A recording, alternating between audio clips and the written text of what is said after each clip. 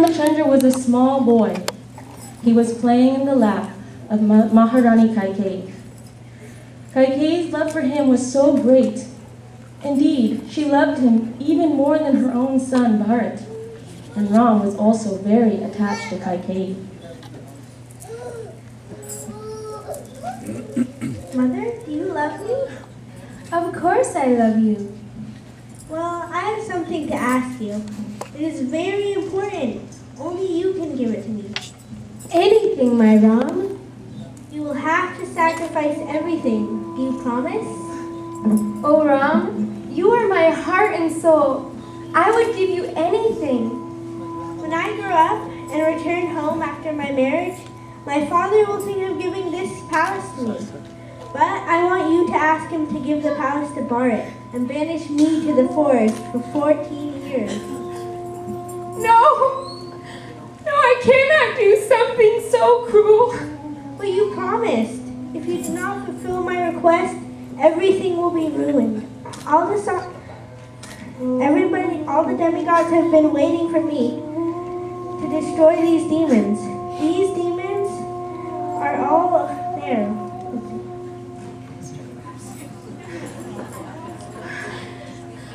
No, I cannot do this. Benefit of the whole world, you have to do this.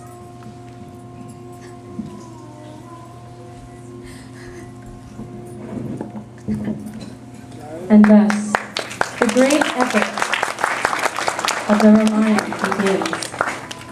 Just see the love of Kaikeyi. She would be hated by the universe. Her son Bharat would reject her and would never call her mother again. She sacrificed everything to fulfill the desire of her Ram.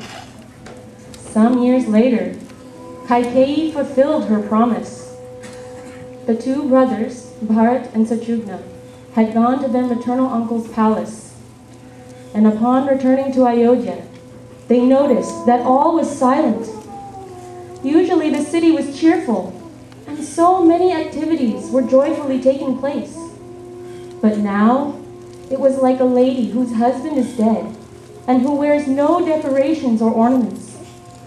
Seeing these and other inauspicious omens, Bharat and Satrughna became fearful.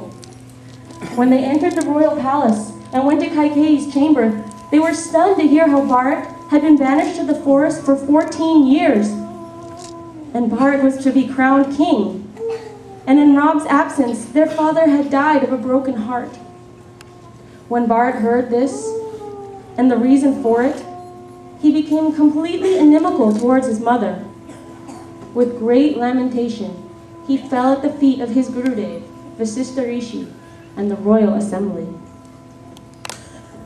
Oh, who is such a sinner as I, on whose account Ram, Lakshman, and Sita have been exiled to the forest?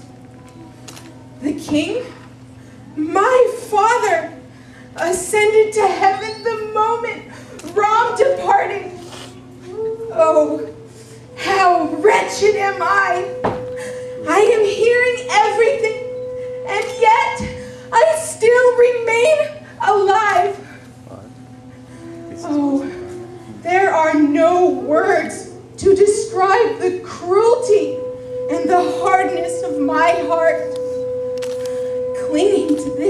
body, born of Kaikeyi, this desolate life is exceedingly unfortunate. My dear child Bharat, one is powerless against providence. Loss and gain, life and death, glory and infamy, all these lie in the hands of the Supreme. Trying to argue whom we should blame and with whom we should be angry is a waste of good intelligence. Do not lament for your father. There was nor shall there ever be a monarch like King Dasarath.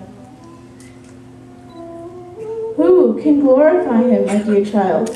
We got such virtuous sons such as Ram, Lakshman, Satrughn, and yourself. Please, reverently obey the king's command.